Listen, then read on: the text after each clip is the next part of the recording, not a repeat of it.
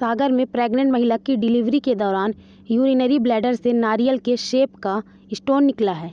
ये operation Bundelkhand medical college में हुआ। पेट से निकला पत्थर आधा किलो वजनी है। ऑपरेशन के बाद महिला और उसका नवजात बेटा दोनों स्वस्थ हैं। सनौधा निवासी 20 वर्षीय प्रीति अहिरवार को जिला अस्पताल में भर्ती कराया गया था। वहाँ से उसे बुंदेलखंड मेडिकल कॉलेज रेफर किया गया। प्रीति की यह पहली डिलीवरी थी।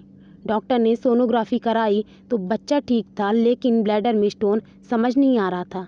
ब्लैडर में हार्डनेस थी। बीएमसी के ऑप्स एंड गायनी डिपार्टमेंट की associate professor doctor Kiran Nagar की टीम ने सर्जरी शुरू की, जिसके बाद एक किलो सात सौ ग्राम का मेल बेबी हुआ। इसी दौरान महिला के यूरिनरी ब्लैडर में स्टोन होने की पुष्टि हुई, जिसके बाद डॉक्टर्स की टीम ने दूसरा ऑपरेशन शुरू किया।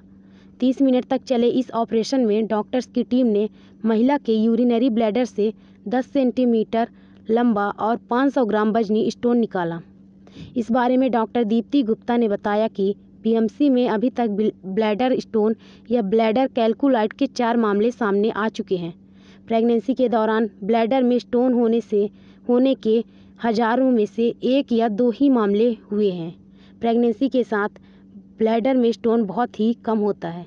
बता दें, फ़िलहाल जच्चा बच्चा दोनों स्वस्थ हैं।